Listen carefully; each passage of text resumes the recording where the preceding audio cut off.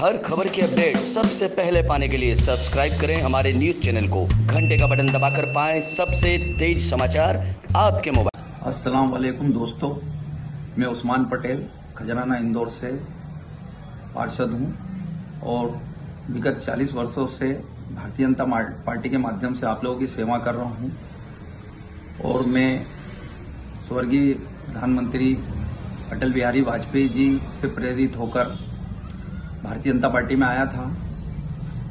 लेकिन भारतीय जनता पार्टी, अब वो भारतीय जनता पार्टी नहीं रही है और नफरत की राजनीति कर रही है। और अभी भारतीय जनता पार्टी द्वारा जो नया कानून लाया है, सीए और एनपीआर, जो संविधान के खिलाफ है और मुस्लिम विरोधी है। अतः मैं उस्मान पटेल, अपने कार्यकर्ताओं व साथियों सहित भारतीय जनता पार्टी की प्राथमिक सदस्यता से इस्तीफा देता हूँ और मेरी माँ बहनें जो सड़कों पर बैठी है, मैं उनके साथ हूँ और यह हमारा देश हिंदू, मुस्लिम, सिख, ईसाई और उनकी ताकत से मिलकर बना है और यही देश की ताकत है।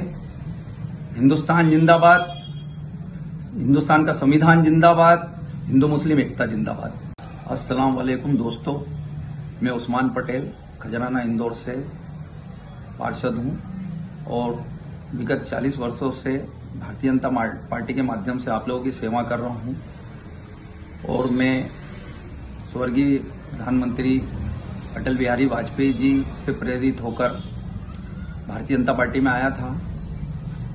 लेकिन भारतीय जनता पार्टी अब वो भारतीय जनता पार्टी नहीं रही है और नफरत की राजनीति कर रही है और अभी भारतीय जनता पार्टी द्वारा जो नया कानून लाया है,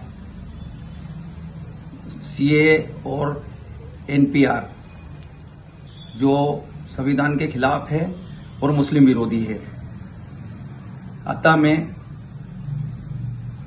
उस्मान पटेल, अपने कार्यकर्ताओं व साथियों सहित भारतीय जनता पार्टी की प्राथमिक सदस्यता से इस्तीफा देता हूँ और मेरी माँ बहनें जो सड़कों पर बैठी है, मैं उनके साथ हूँ।